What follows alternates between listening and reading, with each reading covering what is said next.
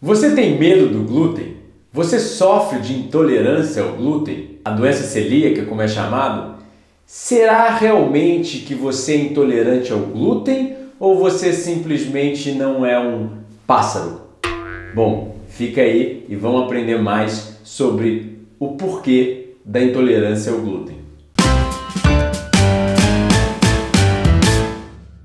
Antes de tudo, se você chegou no canal agora, já começa se inscrevendo, apertando o sininho para receber nossas atualizações.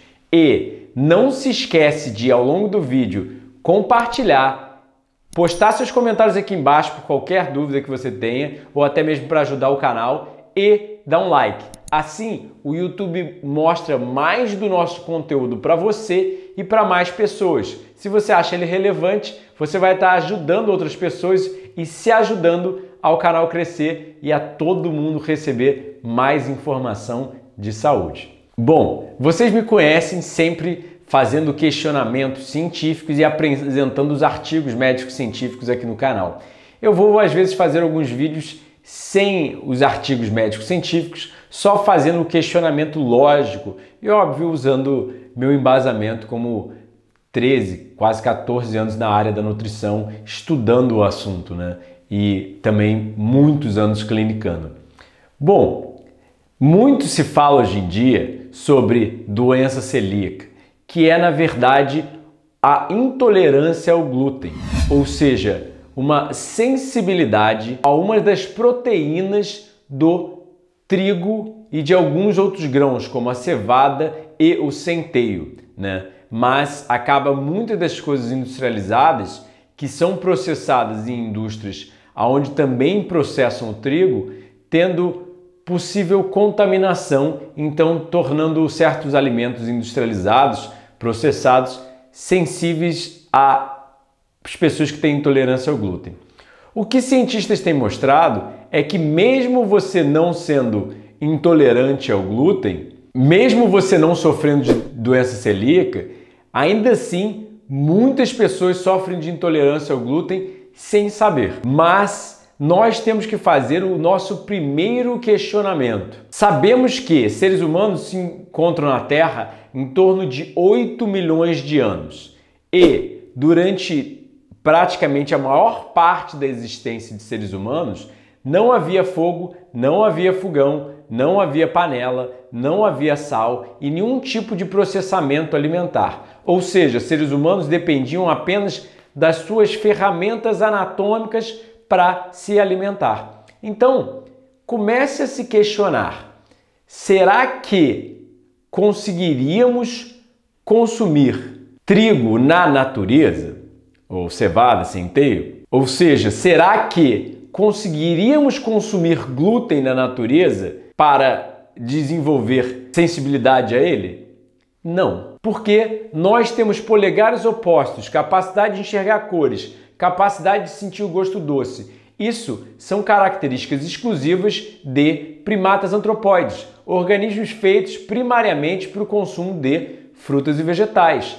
Portanto, nós devemos entender que toda a ciência, a paleoantropologia, a antropologia, a história, a ciência nutricional, indica que seres humanos foram feitos para o consumo de primário de frutas e vegetais. Só que há 100 mil anos atrás ocorreu uma era glacial, congelou o globo, obviamente faltou frutas e vegetais e seres humanos são incrivelmente inteligentes, desenvolveram formas de sobreviver a uma falta de alimentos. Nós começamos a queimar comida no fogo. Ocorreu há 100 mil anos atrás, a gente começou a começar a cozinhar alguma coisa há 10 mil anos atrás, no período neolítico, ou seja, que foi a revolução agricultural, foi quando nós começamos o plantio de grãos e a domesticação de animais. E com isso, óbvio, muitos dos problemas de saúde que seres humanos vivenciam na atualidade. Mas nós temos que entender que grãos são para pássaros. Pássaros são os animais feitos para o consumo de grãos na natureza, porque eles possuem bicos pontiagudos para coletar e papos para germinar. E, provavelmente, eles ao consumir glúten não têm doença celíaca, não têm sensibilidade ao glúten, porque eles foram feitos para esse tipo de alimento. Da mesma forma que animais carnívoros, ao alimentados com frutas, ao alimentados com dietas ricas em carboidrato, sofrem de problemas de, de diabetes, né? sofrem de problemas de saúde. Da mesma forma que seres humanos, ao serem alimentados com dietas sem fibras, por exemplo, carne não tem fibra, qualquer produto de origem animal não tem fibra, ou sendo alimentados com dietas hiperlipídicas, sem fibras, sofremos de diverticulite, câncer de colo, hemorroidas, etc.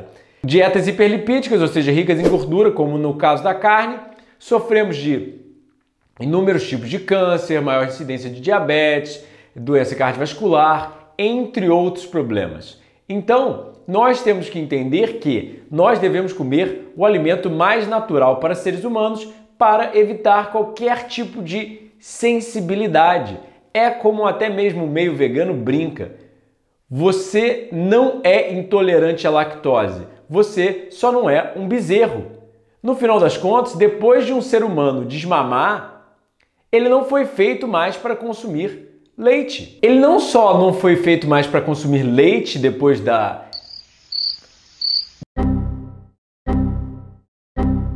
do desmame, como não foi feito para consumir leite de um ruminante. Ou seja, uma vaca é bem diferente de nós. Se a gente ainda pensasse talvez num primata antropóide que compartilha 99% da nossa genética, nós sabemos que o leite deles são, é muito mais idêntico ao nosso. Mas ainda assim, nós não fomos feitos para mamar aos 60 anos de idade, aos 50 anos de idade, 40 anos de idade. Leite é o alimento da natureza produzido ao longo de milhões de anos de evolução, através da evolução dos mamíferos, centenas de milhões de anos de evolução, para o bebê, para desenvolver o bebê, crescer ele forte e depois ele desenvolver a dentição e poder, obviamente, consumir alimentos sólidos. Então, primeiro de tudo, como que o pássaro come o grão? Direto da fonte, direto da planta. Então, você já tem que levar em consideração que você não está consumindo ele fresco você está consumindo ele às vezes depois de um ano que ele foi colhido,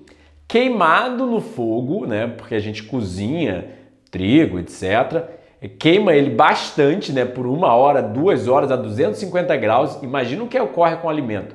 A gente sabe de formação de toxinas, perda de nutrientes. Então já não é um alimento natural a nós, adaptado à nossa espécie, que nós evoluímos mecanismos para digeri-lo, para nos nutrirmos com ele. E nós ainda queimamos do fogo, formamos toxinas, ainda jogamos sal, misturamos com inúmeros outros alimentos e você acha que não vai ocasionar nenhum problema no seu organismo?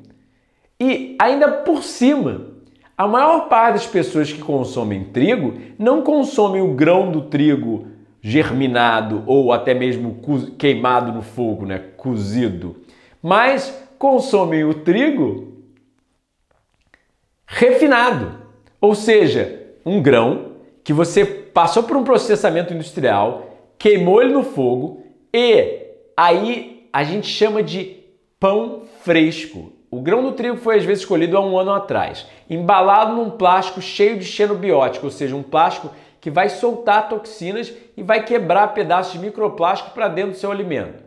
Aí você queima ele no fogo junto com fermento, açúcar, sal, entre outros fatores, para produzir pão fresco.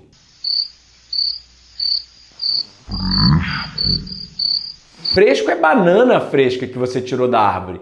Fresco é manga, melancia, caqui, brócolis. Pão não tem como ser fresco. Ele pode ter sido feito nessa manhã, mas ele já foi, ele já foi colhido há um ano atrás, queimado no fogo, a farinha já foi feita e ele só chegou na padaria já em forma de farinha, ou seja, já extremamente processado, já colhido há muito tempo atrás. É óbvio que vai dar problema. É óbvio que isso não é fisiológico. Qualquer, eu não concordo com dieta paleolítica, mas até mesmo os paleolíticos de hoje em dia, né, o pessoal que fala sobre dieta paleolítica concorda que grãos não é um alimento natural. É, grãos integrais é mais saudável que grão refinado.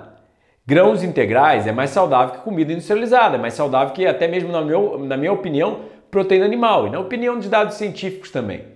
Mas ainda assim, temos que nos questionar se frutas e vegetais são passíveis de serem consumidas direto da árvore e somos organismos com polegares opostos, capacidade de enxergar cores, capacidade de sentir o gosto doce, será mesmo que fomos feitos para grãos?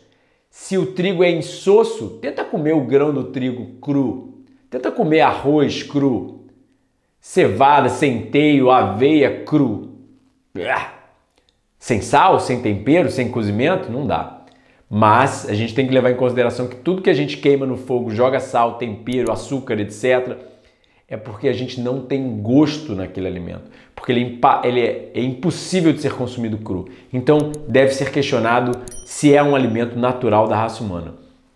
Então, deixa os grãos para os pássaros e muda, come muito mais fruta e vegetal, que você vai ver que sua sensibilidade ao glúten, sua doença celíaca vai se tornar muito mais fácil. Eu, no meu caso, prefiro me manter 100% com alimentos crus e 100% com alimentos fisiológicos a mim, tudo que eu consigo comer com a mão e com gosto. Frutas, vegetais, castanhas, cogumelos, ervilhas, tudo fresquinho direto da horta, sem queimar, sem fazer aquela mistureba no prato, sem jogar sal, azeite, açúcar e mil coisas que as pessoas misturam além das 20 ingredientes de comida cozida.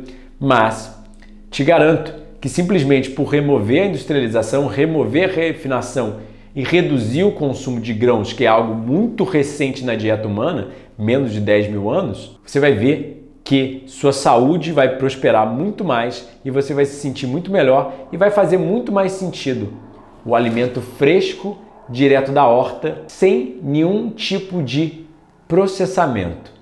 Só o alimento que já vem temperado direto da árvore, ou seja, fruta, vegetal, castanha. Então, lembre-se, primatas antropóides comem primariamente frutas e vegetais. Nós somos classificados pela natureza, pela biologia, nós fomos desenvolvidos pela natureza e classificados pela biologia como primatas antropóides. Por isso, seus polegares opostos, sua capacidade de enxergar cores, sua capacidade de sentir o gosto doce é exclusiva de uma raça primariamente frugívora feita para procurar conseguir pegar e consumir frutas como seu alimento primário. Bom, primeiro de tudo, gostou do vídeo? Compartilha, dê um like, posta seus comentários aqui embaixo, qualquer dúvida ou qualquer coisa para ajudar o canal e não se esqueça de inscrever e apertar o sininho. Tem muito mais informação nos outros vídeos para você aprender mais como viver saudavelmente. E acha que eu posso te ajudar como nutricionista? Eu presto atendimento nutricional online agora durante a pandemia. Tem sete livros já publicados. Rodo retiros aqui no Espaço Saúde Frugal para você passar cinco dias comigo aprendendo culinária e nutrição. E ainda temos nossos cursos online. Entra lá no site e fica ligado na vinheta agora para aprender mais como eu posso te ajudar. Muita, mas muita saúde frugal frutas e vegetais ao invés de grãos insossos e até a próxima!